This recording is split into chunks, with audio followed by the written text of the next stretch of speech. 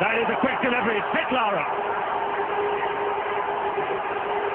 Oh, he got into an awkward position and he's in pain. This has hit him, I reckon, on the back of the head or somewhere near the eye as he's pointing.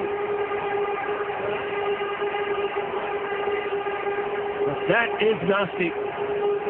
Shoaib Akhtar, the first man to run across to Lara.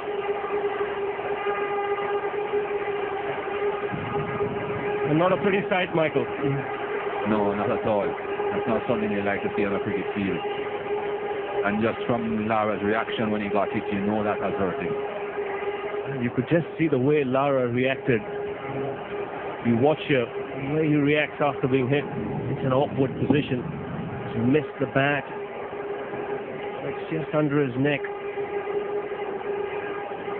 The way he goes down, knows he's in pain.